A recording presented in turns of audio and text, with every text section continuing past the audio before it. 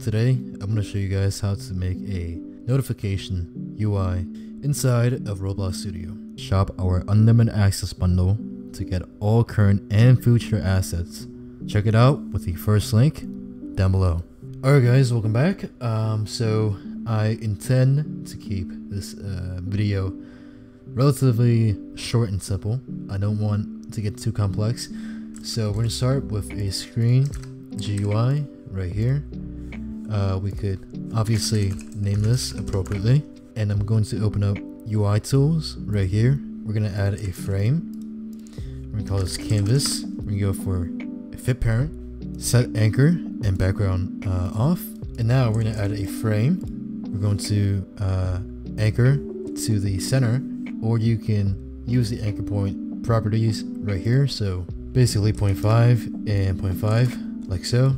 And now I'm just going to uh, size or scale rather this frame until we have something nice like so. Um, I'm going to add a corner. I'm going to change the radius uh, from offset to 0 in scale to around 0.1 like so. I'm to call this our main. Now I'm going to make the color dark or actually let's go for a UI gradient. Uh, I'm going to go for a rotation of negative 90 for now. We're going to try some things out. We go for a nice dark gray. We can experiment with a color in the middle, like so, very slightly. And then perhaps we can change the rotation to 55. That seems to be fine for me. I'm gonna change the transparency to 0.05. Okay, now I'm gonna copy main. So Control C.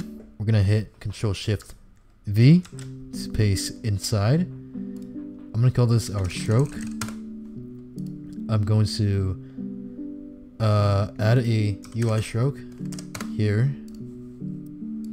Increase the thickness 3 and change the color to white. I'm going to uh, resize the stroke, this uh, frame, to something like this, I suppose.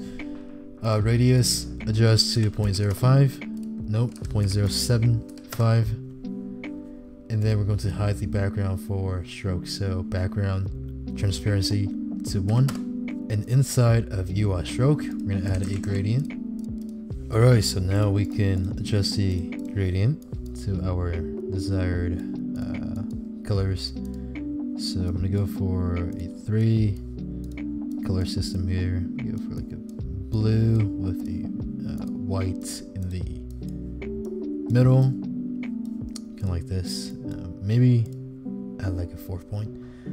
Eh, it's not really necessary, but it's okay. We can try this out. Can also change the angle, obviously, to 45. So now we have something more along the lines of this right here. And now we can obviously add some text. So we're gonna add a text label. I'm gonna go for text scaled. I'm going to change the font to Fredoka 1. Uh, hide the background. Text color white. Hit OK. I'm gonna copy the stroke gradient and go Control Shift V to paste. And now I'm gonna add a stroke to the text as well. So now we have a nice title notification. As you can see, uh, scale this to your liking. I'm going to copy our text and uh, this right here is going to be our main text description. So I'm going to remove our gradient and modify the stroke, change the transparency 0.75 I will say. And then here we're going to type out our we're gonna type our main text so this right here is our main text body of our notification interface. Okay. Here we go. And I'm going to make sure all these are scale. So I'm hit scale, scale, like so.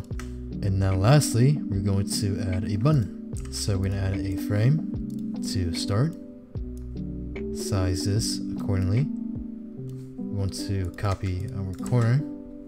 Uh, point one seems to work out fine. Want to readjust these proportions. Okay, I'm gonna add a gradient as well. Negative 90. Now I'm going to add some kind of a greenish Like so. Alright, so let me try this out for example. I'm gonna add a stroke. Here. Boom. Change the color. Actually, I want this to be more round, so point two.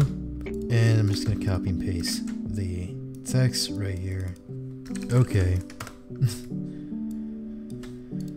and then here I am going to remove the gradient.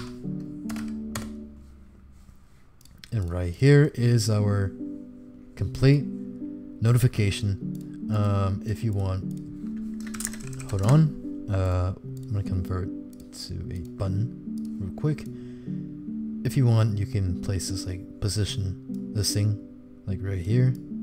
Alright, I hope you guys enjoyed this video. Uh, if you did, make sure to drop a like down below and check out our store. And yeah, I will see you guys in the next video.